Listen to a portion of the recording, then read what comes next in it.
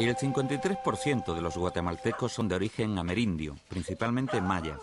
Hay un 42% de mestizos.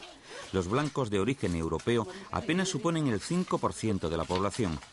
Ana María Siana es indígena y habla el achí, una de las 22 lenguas vernáculas de un país en el que el español es idioma oficial en todo el territorio.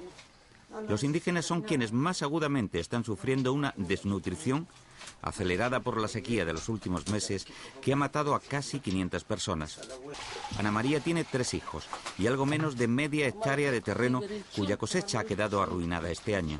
Su marido ha emigrado temporalmente a la búsqueda desesperada de un dinero con el que combatir el hambre que azota a la familia. Esta es mi casa, aquí vivo con mis hijos. Somos personas muy pobres. A veces nos pasamos el día sin nada para comer, nada, ni siquiera agua. Durante mucho tiempo estuvimos sin casa. A veces íbamos de una a otra porque no teníamos a dónde ir.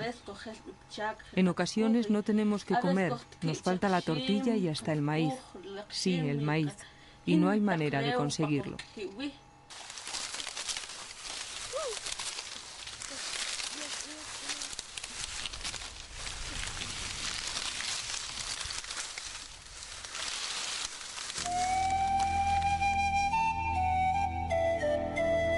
Guatemala es un país eminentemente agrícola, en el que las principales fuentes de ingresos son el cultivo del café, la caña de azúcar, el turismo y las remesas de los inmigrantes en Estados Unidos. El gran problema es estructural, con una distribución de la tierra en la que una oligarquía de 20 familias disponen de la mayoría de las explotaciones, en tanto el 90% de los campesinos viven en la pobreza. Los pequeños agricultores cuentan con fincas que rara vez superan la hectárea y en la que siembran maíz y frijoles, básicos para sobrevivir. La situación grave en Guatemala a nivel nacional definitivamente nos ha tocado, eh, aunque ya se está viendo puramente la realidad de la crisis, porque hasta el río se está secando. Entonces, a través de esto, como muy por muy poco invierno, la cosecha se secaron. La siembra se secó, muy poca cosecha.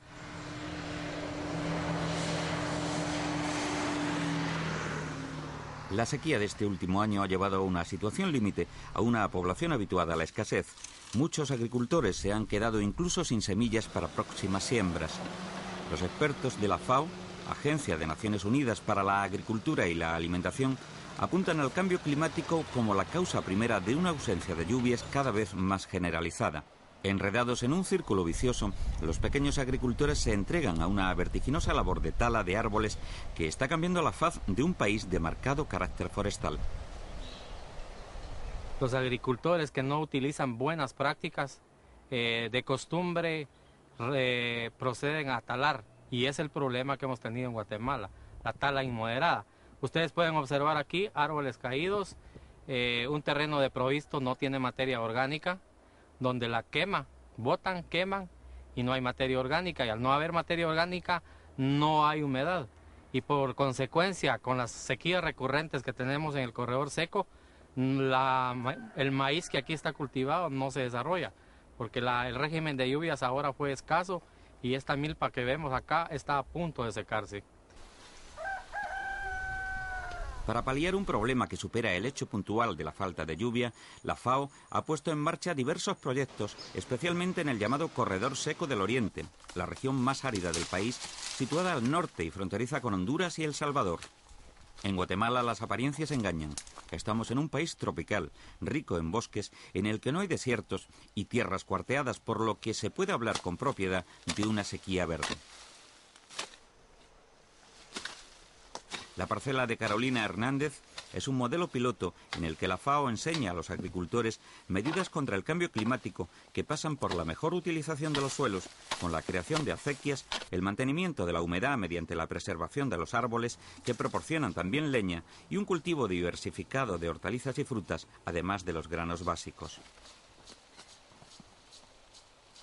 Las necesidades lo obligan a uno hacer todas estas prácticas de conservación de suelos porque ya sabemos que si no hacemos conservación de suelos, pues nuestros suelos pronto se acaban y se van. entonces la tierra queda más pobre cada vez y estas prácticas nos están ayudando a, a mejorar nuestra tierra. Para un mejor aprovechamiento de los escasos terrenos, los agricultores llevan a cabo tareas como la mezcla de estiércol y lombriz coqueta roja para la obtención de abonos naturales, en lo que supone un ahorro económico y ecológico. Anteriormente ya se les había colaborado con, una bolsa solidaria, ¿verdad?, de alimentos. Entonces, nuevamente, eh, por el gobierno, viene esta pequeña ayuda para ustedes, ¿verdad? Entonces, eh, a las personas que se les dio la primera oportunidad, se les va a volver a dar en esta oportunidad. En septiembre, el gobierno guatemalteco declaró el estado de calamidad pública ante la severa crisis alimenticia que afecta de manera aguda a 50.000 familias del corredor seco del Oriente, aparte de otras zonas del país. Hasta agosto habían muerto 462 personas por desnutrición, de ellos 54 niños. El gobierno entrega cada semana 55.000 bolsas en las que se incluyen alimentos básicos para quienes dependen exclusivamente de unas cosechas que se han echado a perder por la falta de lluvias. No podemos eh, obviar que hay gente necesitada, que hay gente que necesita una ayuda directa. Eh, cuando hablan de, del proverbio eh, chino de que hay que enseñar a pescar, pero y, y no regalar el pescado, pero en este momento eh, el lago no tiene pescados. En Guatemala, según reconoce el propio gobierno, no faltan alimentos. Lo que no tienen los afectados por la crisis es dinero para comprarlos. Una parte importante del país vive cuesta arriba. Águeda Alegría y Manuel Vázquez, cuatro de sus hijos y un tío de la mujer de 80 años viven en esta casa. Tienen una mínima parcela en la que este año no han cosechado nada y un molino que además de para atender las necesidades familiares, les sirve como un modesto negocio. Además, cuentan con diversos animales domésticos y venden leña recogida en las orillas del río. Las cosechas no se han dado. Ya dos años con este que hay calamidad de agua. Ya ni los animalitos no se logran porque hay mucha enfermedad. Hay que estarles poniendo vacuna y si no hay dinero, pues se mueren. La nena no está muy... Ahorita está en la escuela, pero no está bien gordita porque como no hay alimentación pues que se les debe de dar, porque se necesita.